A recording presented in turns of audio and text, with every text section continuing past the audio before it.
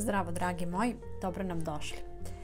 Na početku ću vam uvijek reći hvala što ste, eto kako to se kaže, kliknuli ovdje i došli da se s nama družite i da vidite da li će vam se to dopast pa možda i vi spremite. Ja volim uvijek nekako da pravim raznovrsnu hranu i da svega ima za svakoga i znate i sami koliko je brokoli zdrav. Znam da ima neko ko nešto ne voli, ali bože moj, na ovakve načine kako ću vam ja sad predstaviti, kako ćete ga upakovati, vjerujem da ćete pojesti i vi koji ne volite brokoli. Jako je lijepo i interesantno, pa da ne bi mi previše tu nešto dužli, ajde da krenemo da radimo. Slažete se vjerovatno svi. Evo ovdje imam pola kilograma. Kad kažem pola kilograma to mislim na cijelu ovu količinu ovog brokolija. Naravno kad se on očisti, znači ovdje ćemo koristiti samo ove cvjetove, a od ovog drugog ću ja napraviti nama salaticu. Ogulim ovo i napravim fino izrendam i napravim salatu. Daću vam caku kako da vam ostane, mislim caku, ja sam je naučila, pa eto da još neko nauči, kako da ostane ovo zeleno. Sad ćete vidjeti stvari sve. Ajde prvo da ovo očistimo.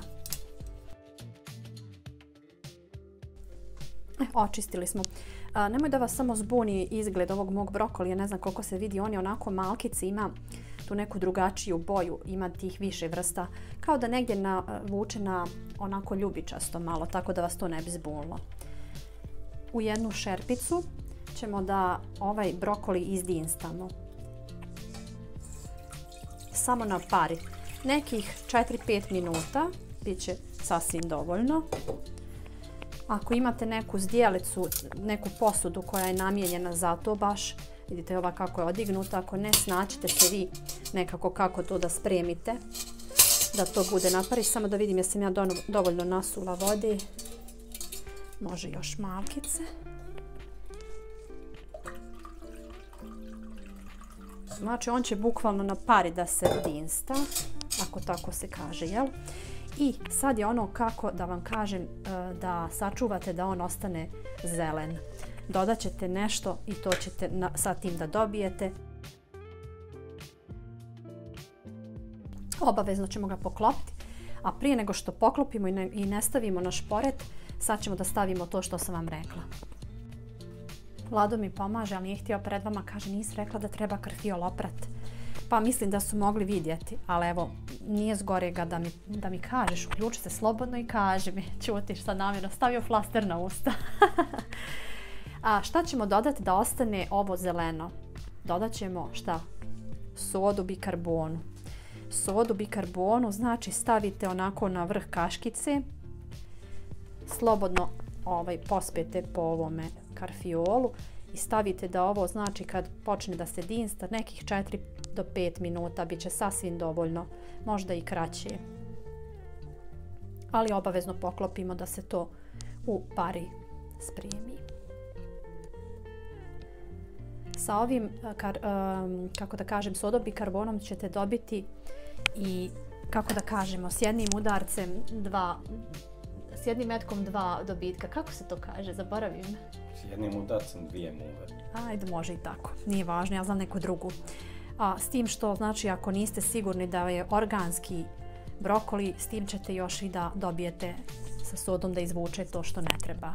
Vidimo se kad ovo bude izdinstano.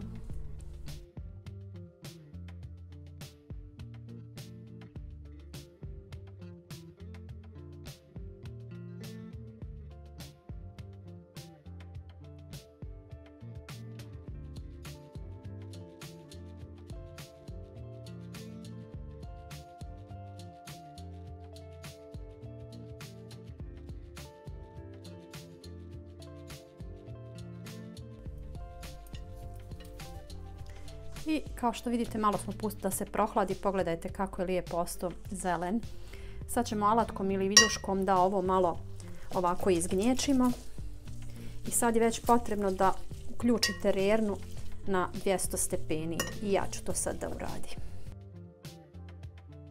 E, tu ćemo da dodamo, ja volim da kažemo 2 do 3 čina po ukusu bijelog luka.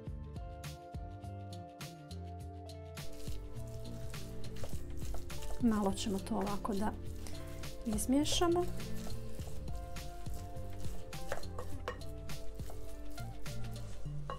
I sad idemo dalje.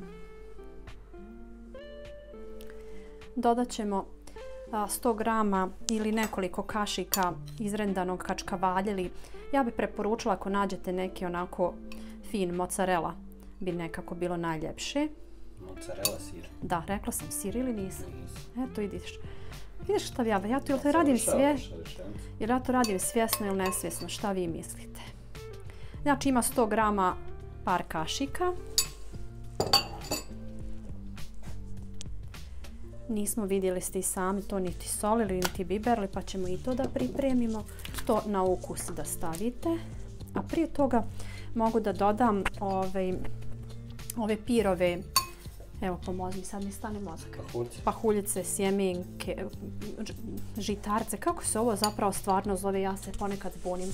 Ali nije uopšte važno, znate šta mislim, možete naravno da koristite i ječmene ili zobene, ali ovo su pirove i one su zato, kažem, isto dobre ko ne jede gluten. Isto ima 100 grama.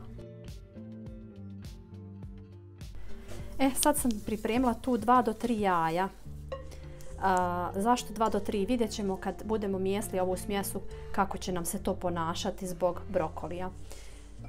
Jaja ćemo znači da polupamo i ovo ću da uvažim od vas. Vi ste me to podsjetili da je važno zbog početnika da prvo provjerimo jaja. Ja znam da su moja jaja, odnosno ova koja koristim, ovaj, svježa. pa da, i da su ispravna, ali evo za početnike ako se boje da su jaja pokvarena, jedno po jedno ćete ovako ulupati u neku posudu da ne bi bilo problema. Da ne bi morali baciti cijeli ručak. Ja ću na početku dodati dva. Ova su dosta i krupna.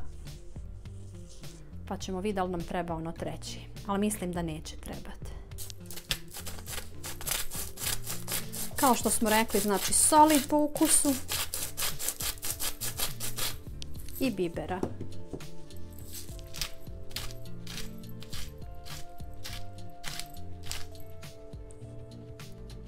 Sad ćemo ovo fino sve da izjednačimo i Vlado me pita kako, će, kako se ovo zove. Ja kažem, e, pa znaš da kod mene recepti su većinom bez imena. ja bi ovo nazvala neki zeleni ćevapi. Šta kažete vi? ili neke čuftice ili nešto tako, ne znam. Uvijek kažem da imam dilemu kod toga i ja mislim da meni to uopšte nije važno, nego je važno da vam ovo posluži kao jedna super ideja da spremite nešto novo i interesantno, a što je najvažnije, zdravo i ukusno. Kada ovo dobro neće mi trebati treće jaje, vidim i sama.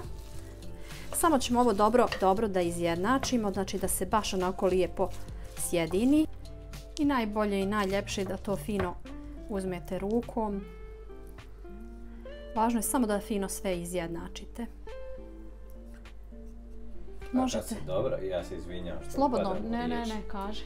Ovaj, tamo sigurno vidjeli ste čoškom ovaj, na ekranu ovaj, šta viri kad se dobro ovaj, najedete fino, onda ćete uz kaficu i da se zasladite. Ponovo smo ih spremali, da, da. Imate te krofnice u štipke kako god. Jes da sam ih ovih, ovog puta malo obogatila to mogu ovaj da kažem, stavila sam brusnice još i stavila sam ovoga, a, reći, korce limuna. To je baš super. Evo vidite kako se ovo lako formira, debljinu i oblik. Znači stvarno vi izaberite vi. Možda baš ovako. Lijepo.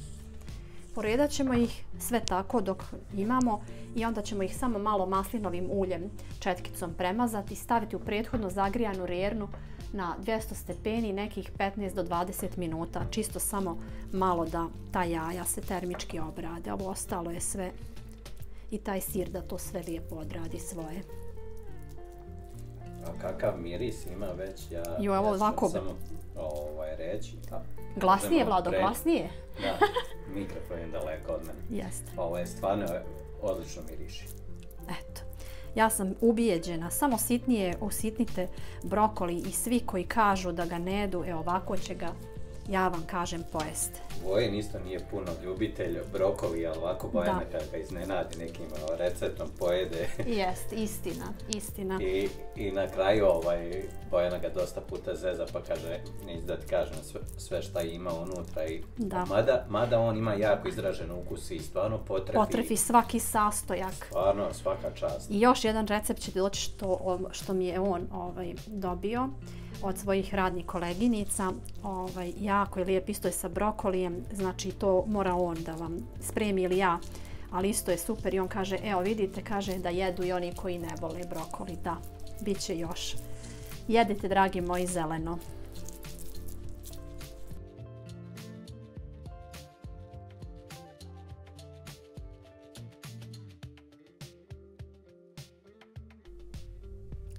Bile su gotove i nakon 15 minuta, ali ja sam ih ostavila 20, pošto mi volimo tako da to malo onako bude bolje pečeno. Prelijepo miriše cijela kuhinja. Jeste da ovaj, brokoli ima taj svoj miris, ali s ovim sve ovako fino upakovano vidjet ćete kad probate, ako već niste probali. Ne znam koji god da uzmem i ne znam kako bi rekla ovo, kako sam ja rekla, zeleni ćevapi. Čuftice, šta god, pogledajte. Sir je odradio svoje, još je vrućo. Izgleda savršeno. Miriši odlično. I hajde da mi to probamo pred vama, da ne kažete. Nema laži, nema prevare, direkt preva, pred vama probavamo. Odlično je. Vlado guta već Samo ovdje. pazi Bojana da ne opržiš jezik. Mhm. Samo ćete mljackat, kao što ja radim sad. Ne mogu ja se požurit, ali Ovo je ovo je stvarno odlično. prelijepo. Jako je ukusno. Ja sam probala i hladno, nije loše ni kad je ovaj, ledeno, ali naravno sve ljepše kad je toplo, ali dobro i to je stvar ukusa. Šta da vam kažem, vidite ovdje jednu supicu, nije supica od brokolija, supica je od tikvice i još tu nešto, ali nije to važno. Spremite vi supcu koju hoćete. Želim ja vama puno, puno ljubavi koju želim da dijelite dalje. Imajte ljubav u sebi i dijelite ljubav. Ljubav je, ljubav je spas za sve nas. Vjerujte, dragi moji. Vjera i ljubav su pobjeda za sve. Prijatno, dragi moji, uživajte i nek vam ova ideja posluži. Zahvaljujem svima vama koji se družite, pišete komentare između sebe, to me baš, baš raduje. I hvala i onima koji ne pišu, možda iz nekog razloga ili ne znaju ili jednostavno ne žele. Meni je važno da vama ovo nekako posluži ili ova priča ili ova ideja za recept. Prijatno!